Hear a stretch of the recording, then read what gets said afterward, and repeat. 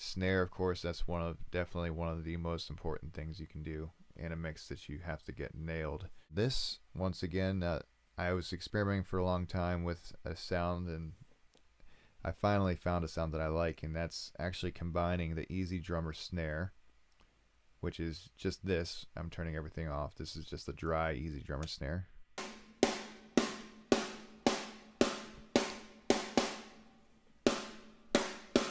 Oh yeah, a little bit of reverb. That's the dry EZdrummer snare. Um, I played with EQ with the snare a little bit, but really, in the end, I was just like, you know what, the snare just sounds best if you just leave it alone. And that's I try to use that as a basic guideline for all recording. Really, is try to do as little as possible because if you recorded your instruments properly, then there's always going to be something awesome about just the raw instrument. And the cool thing about EZdrummer is it's professionally recorded, professional, you know, top of the line snare, top of the line microphones, and it really doesn't get any better than that's. You know, there are some some great snares out there, but I love the EZdrummer one. But you know, eventually I was just like, you know, I really don't need all this other stuff to to mask it. So I just threw this one simple EZmix preset on it. It's just snare as a preset that's built into EZmix. Basically, if you uh, if you click on snare, you see there was an asterisk there. Every time you uh, make an adjustment on an EZmix preset, it changes to an asterisk. That way, you know that um, there's an adjustment that's been made. So it's not a, a pure preset; it's just an altered preset now. You click on snare. That's with uh, the basic snare thing. This is without it. So you, can tell with it added on, it just adds a, little bit more punch. There wasn't enough punch for me, especially with a faster paced song like this, was like a mid tempo.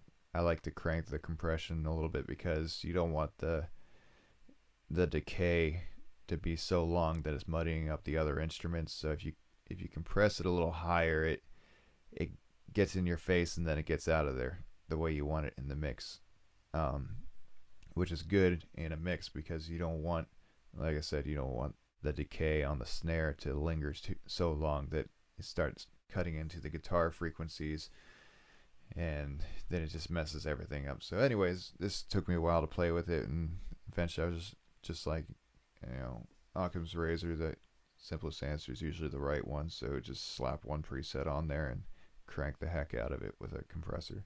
This is basically it's called Snap, but it's basically a compressor. So here's it with just the preset by itself.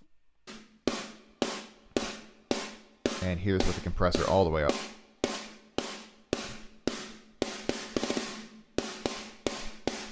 Much better. I love that. So anyways, that's all I did with um, this part of the snare. Now a new trick that I'm doing nowadays is I'm layering the snare a little bit for once in my life, I found a purpose for the rock kit snare built in the GarageBand. Um, it's got um, a cool low end that the um, the EZdrummer snare does not have. Basically, if you add this rock kit snare, this is it with nothing on it at all, just dry.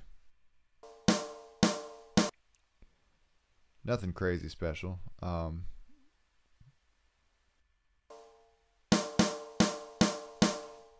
but it does have some unique qualities that can be utilized in a really cool way. Like if what I did was, I mean, the first thing is I don't really like the sound of the rock kit snare that much, so I was like, I gotta squash the heck out of it with some compression so I can you know, use this in a way that I like. Also, there was this ringing in the middle that was really bothering me. Here's it with the. Uh,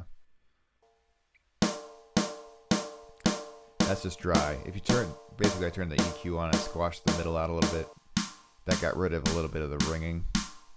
But what's left, you can hear that punchiness, that purr, purr, which is cool because if you add that and you layer it with this other snare, it's basically that's what I'm getting out of the snare is the punch that this doesn't have. This has the pop, this has the punch. And going hand in hand is a really rocking sound. And I didn't do anything too crazy with this second layer snare. All I did was basically compress the heck out of it with some EZmix presets Uh, this one I used that same snare thingy. Um, click snare, the compression isn't as high. I think I, I wanted just a little bit of bleed through on the low end just so it kind of, the punch sounds more punchy.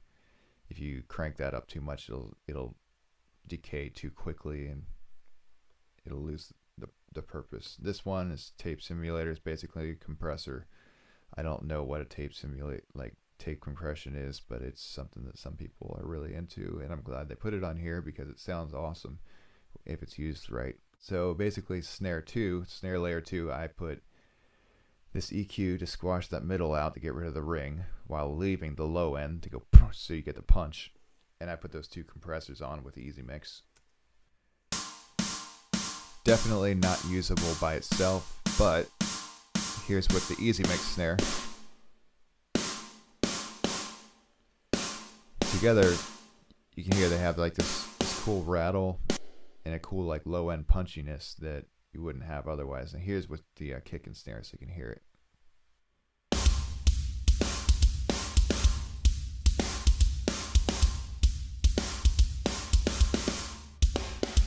And you see with just the EZmix snare and the kick, it sounds like it sounds like uh, like a gorilla chasing popcorn, which isn't all bad if you like that sound, but um, I'd like a a gorilla chasing, um, I don't know, a, a trash can more.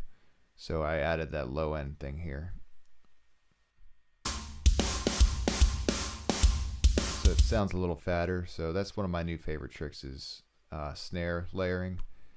So try that out. Try out the uh, the rock kit snare as a secondary snare to whatever your primary snare is. And another trick is you don't want that rock, the rock kit snare to be too loud yeah, if you want to use it as your primary snare, you do want it louder. But if you want it as a second layer, uh, whatever your second layer is, you might have to tweak the volume a little bit. And as you can see, this one is a little quieter than the